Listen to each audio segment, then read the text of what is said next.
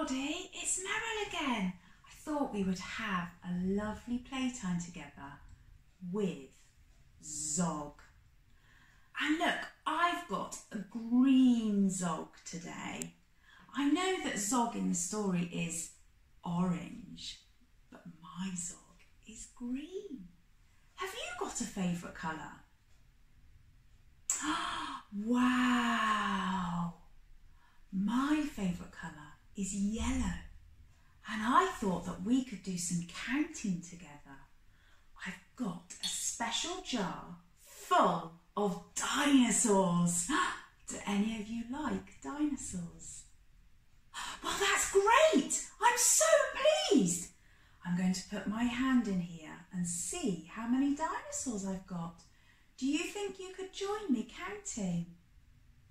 Are we ready? One.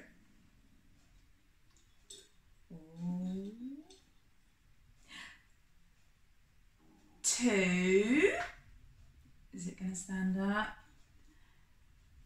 Three. That was brilliant. Four. Well done. Five. Six. Seven. Eight. Nine. Ten.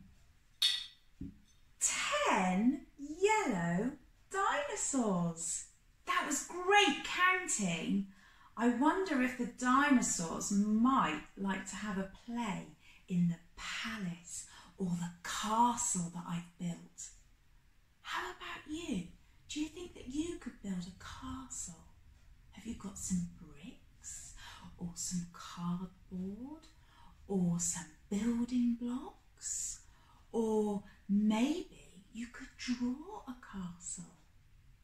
If you manage to do one, maybe you could send me a picture. I'd really love that. Oh my goodness. What is this? Oh. It's a sparkly tiara. And I think I might just wear it for our story today. Would you like to join me for the story? I'm going to turn on my listening ears. Click, click. And I think, yes, they're ready to listen to the story of Zog. Zog's story's all about being kind and helpful and trying so, so hard to be really, really good. And the more that he tries, the better he gets. Are we ready for Zog? Madam Dragon ran a school many moons ago. She taught young dragons all the things that dragons need to know. Hopefully, my dragon knows a lot. Zog, the biggest dragon, was the keenest one by far. He tried his hardest every day to win a golden star. All the dragons in year one were learning how to fly. High, said Madam Dragon, way up in the sky. Now that you've been shown you can practice on your own and you'll all be expert flyers by the time you're fully grown. Zog went off to practice, flying fast and free. He soared and swooped and looped the loop and then crashed into a tree. Ouch! Oh, just then a little came by. Oh, please don't cry, she said. Perhaps you'd like a nice sticky plaster for your head. What a good idea, said Zog. Then up and off he flew, his plaster gleaming pinkly as he zigzagged through the blue.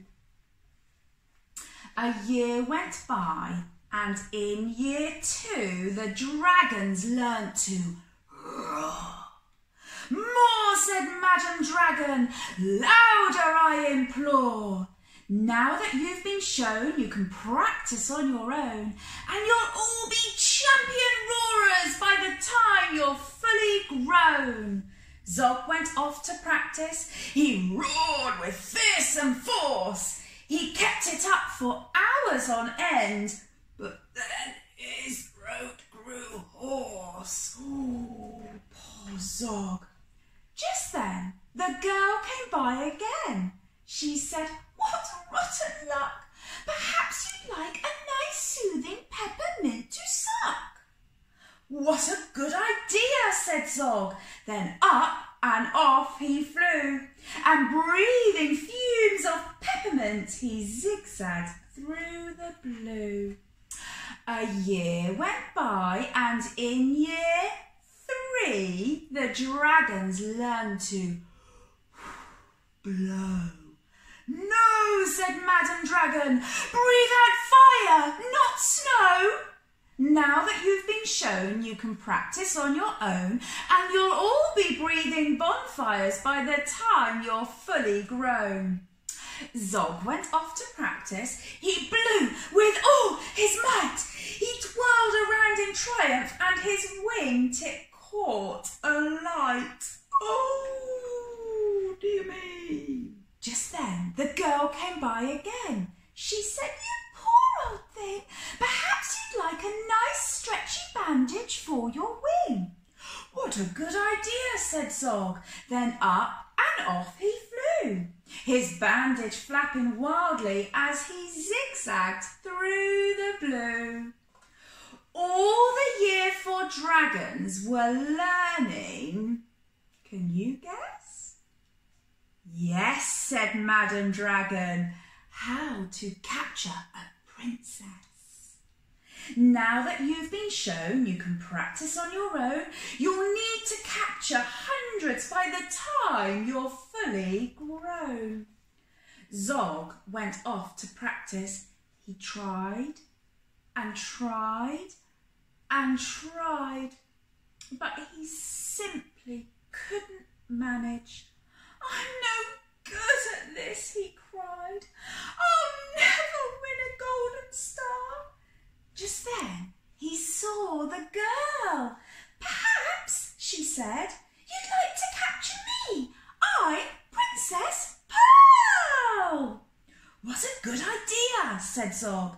Then up and off they flew, the princess gripping tightly as they zigzagged through the blue.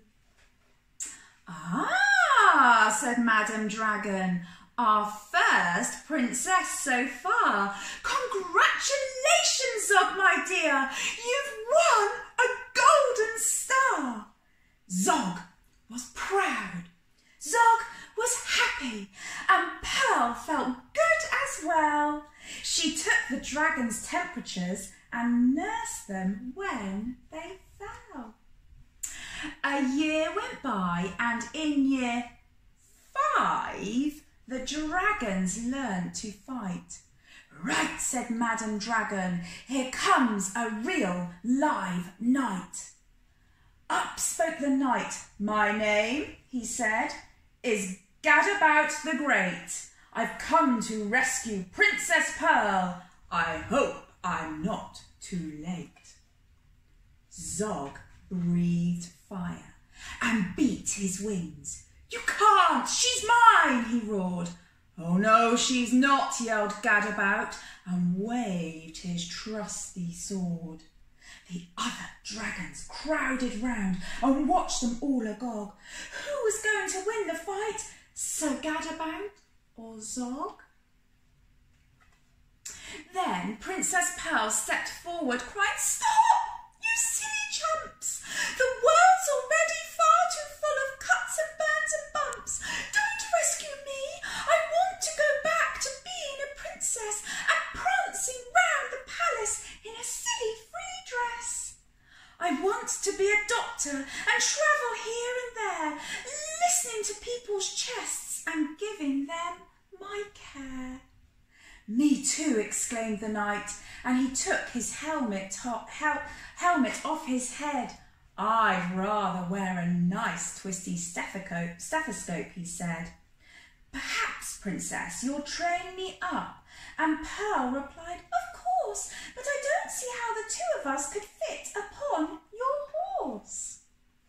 Then Zog said, Flying doctors, I'd love to join the crew. If you'll let me be your ambulance, then I can carry you. Bravo, said Madam Dragon. An excellent career. And all the Year 5 dragons gave a loud resounding cheer. Then Madam Dragon told the horse, I really hope you'll stay. I'll let you be my pupil's pet and feed you lots of hay.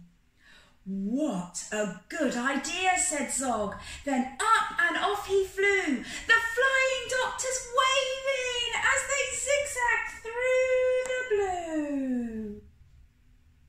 Well, what a fantastic story! Zog tried and tried and got better and better and better. And the princess, wasn't she so kind and caring? What a lovely thing she did to help all those dragons. And then the knight, wasn't that great that he became a team with Zog and the princess? Have you noticed? That I've still got a pumpkin from Halloween and I drew some big eyes on it and turned it into my very own Zog just for you. Well, what a fun time we've had. If you manage to build a castle, please send me a picture. I'd love to see it. And so from me and Zog, we'll say goodbye to you all and thank you for joining us for a playtime together. Goodbye.